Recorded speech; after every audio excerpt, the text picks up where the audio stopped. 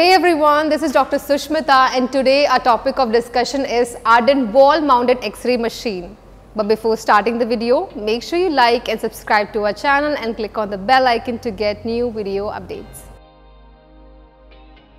Ardent wall mounted X-ray machine is a conventional X-ray unit designed to be fixed to the wall and is an essential tool for supporting the diagnosis and treatment planning process.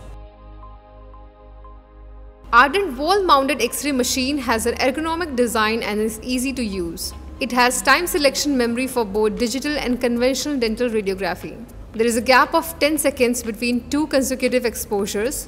The long cone is coated with lead to avoid dispersion of radiation. Side mounting of tube head provides high maneuverability and quick positioning.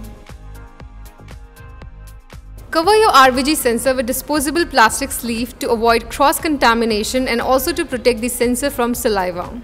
Remove jewelry, piercing, tongue ring etc. in the area of exposure. RPD and orthodontic appliances should be taken out prior to imaging.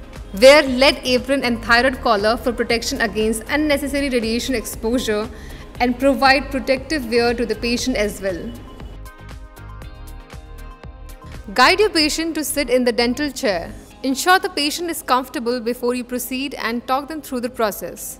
Ensure the patient is sitting in a right posture with proper head position. As for maxillary arch, the head should be tilted slightly more downward so that the Frankfurt horizontal plane is parallel to the floor.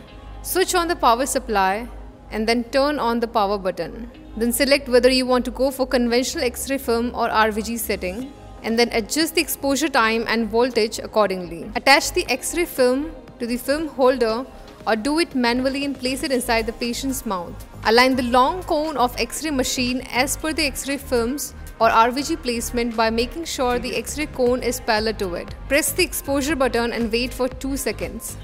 Since we are using RVG here, check the radiograph on the laptop screen. If not satisfied, repeat the process. Dispose the used RVG sleeve and turn off the X-ray unit.